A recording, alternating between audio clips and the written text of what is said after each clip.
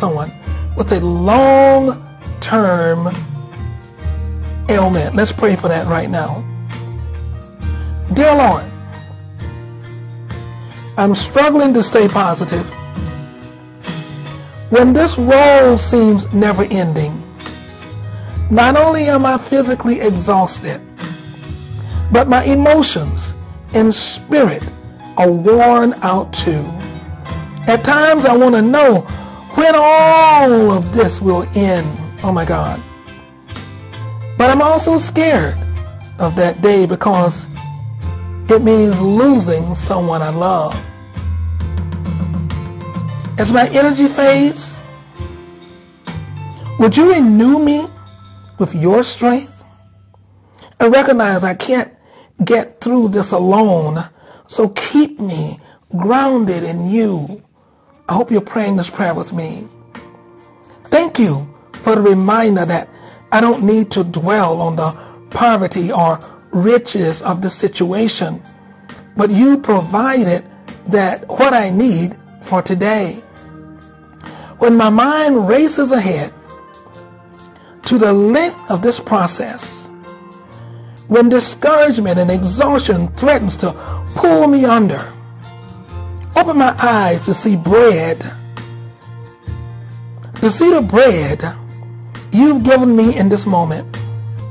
I want to be grateful for your provision rather than grumbling about my struggles. Keep me connected to you so I can remain aware of what my care recipients needs. When I feel as if I have nothing left to give, show me what to do next. Hmm. Whether I need to press through the pain, ask for help,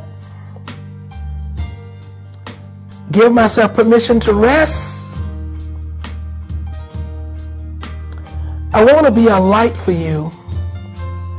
Lord, so fill me with purpose and joy as I interact with other caregivers and medical personnel.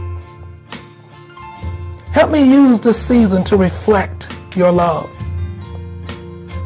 Rather than shrinking into the cave of my hardship, give me fresh perspective and courage of heart. The days ahead seems endless. But Father, you are eternal. I'm grateful. You're not limited by space and time. And I praise you for providing what I need right now. In Jesus' name, amen. If you prayed that prayer, if you're in that setting that we're talking about right now, see, this is real. See, see, when you're caring for, oh my God, uh, I don't know who you're caring for. I cared for my mom and my husband. I don't know who you're caring for. I'm not talking about on the job now talk about in my home. I'm talking about at home. I'm not talking about the profession of nursing. Now, I want to say one thing. I don't want to exclude nurses because nurses also care for people on their jobs. And then they also have a loved one at home that they care for as well. Sometimes they're doing a double whammy. Mmm. Bet you didn't know that, did you? You said, well, how can they do that? Well,